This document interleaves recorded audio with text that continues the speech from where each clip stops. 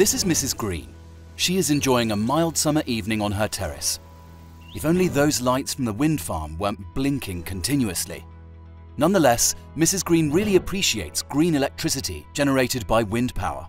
But soon, the blinking may be history.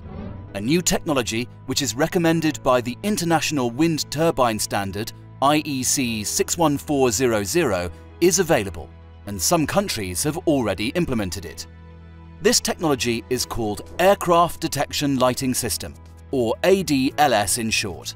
One of the leading aircraft detection lighting systems was designed by LightGuard. It is transponder-based and uses multilateration to achieve the best possible results. But what does that mean? Transponder-based. What is multilateration? And how does it keep the wind turbines from blinking? Let's start from the top. Wind turbines are equipped with obstruction lights to be visible in the dark for air traffic. Every flying object, whether aircraft, helicopter or drone, is under obligation to send out transponder signals to be identifiable. Those can be signals in the form of Mode S, Mode AC, Mode ADS-B or FLAM. Now, LightGuard receivers are installed all over the country, mostly on wind turbines, but in other elevated places as well. They receive transponder signals and assign timestamps and position of the receiver to them.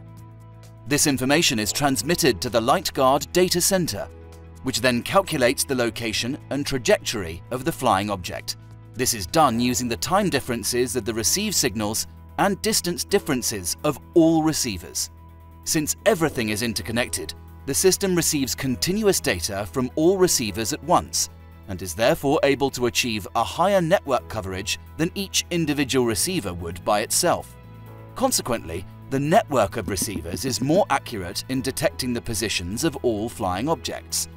This leads to a better signal quality and more lights-off times for each wind turbine, especially in areas with high air traffic or large wind farms. But how exactly do the lights get turned off? Additionally, the LightGuard data center continuously communicates with the light control unit in the wind farm, which controls the lights. As long as no flying object is near the wind farm, the light signal is suppressed, the lights are off. If a flying object approaches, the suppression is lifted, the lights turn on. Depending on the location, light emissions can be reduced almost completely. Air traffic safety is also taken care of. In the event of a signal failure, the obstruction lighting is no longer suppressed and the lights remain switched on. Important to know for wind farm owners and operators, the light guard system can be installed in all kind of wind turbines. As an experienced supplier in the wind industry, LightGuard cooperates with all wind turbine manufacturers.